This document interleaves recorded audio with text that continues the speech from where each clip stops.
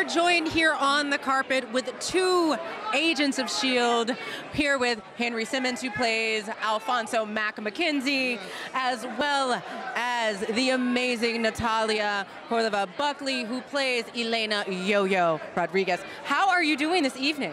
We're doing good. Excited to be here. Support Marvel and Brie as the first superhero, female superhero. I'm very excited to see the movie.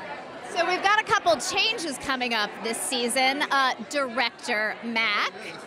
Yeah, yeah, yeah, yeah. A little job title change. So I'm curious, going into this, what do you think makes good make, makes Mack a good director, and what are we a little worried about for his leadership capabilities? You know, I think the thing that makes Mack makes me a, a good director is the thing that could also hinder me as a director. Uh, I think Mack wants to do the right thing and do uh, the thing that is truthful and what's best for the overall. But sometimes you can't do what's best for everyone. You have to do what's best for particular people. Absolutely. Right? Yeah, it's tough. You have to send people into harm's way, and that can be a difficult decision at times, right? Absolutely.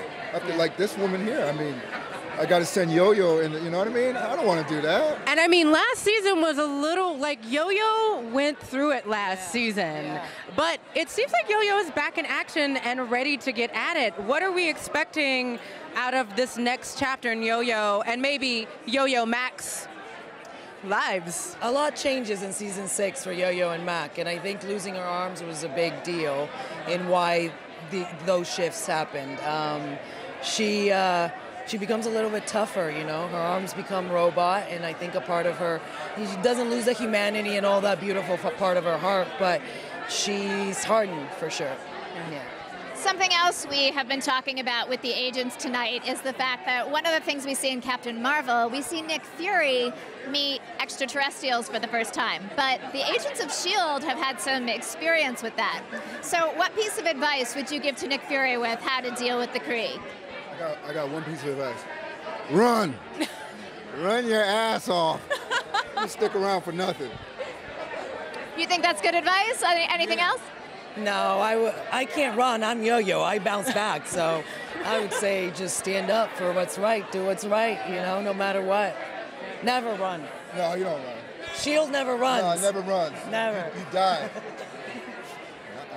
Speaking speaking of dying, we do get to see Phil Coulson back alive, ready and kicking on the screen tonight. How excited are you to get a little bit of background on Phil Coulson? Obviously, Clark Gregg being up on the screen, and what are you excited to learn about his past? You know what? I'm just excited to see him have some hair. Um,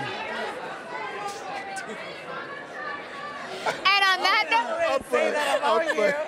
On that note, we're going to send you on your way. Have a great time tonight. Thank you so much for talking to the fans.